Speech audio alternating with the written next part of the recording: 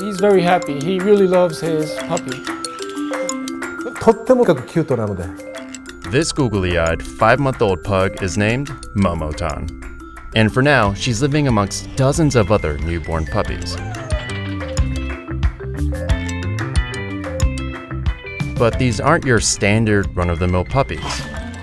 They don't know it, but Momotan and each of her puppy companions are clones.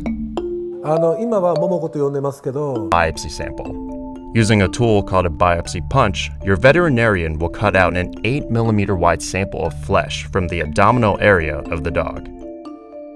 If your dog is alive, just one sample is enough. But if your dog is dead, you'll need to provide Sooam with as many samples as possible to increase the chances of finding live skin cells. You then pack the sample with ice packs in a styrofoam box to keep it chilled and expedite it to Sooam, which you can do so using normal shipping services like FedEx.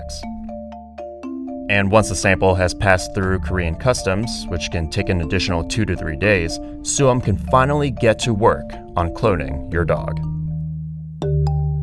First, the sample is sterilized and cut into smaller pieces. Then it's treated with a reagent and chemically dissociated, meaning the cells are separated from the tissue. The sample is then placed in a centrifuge, which allows the scientists to collect the cells and transfer them into a growth medium. One to two weeks later, Sooam has the cells necessary for the cloning process. Sooam then goes to a laboratory animal provider where they rent two dogs an egg donor and a surrogate mother.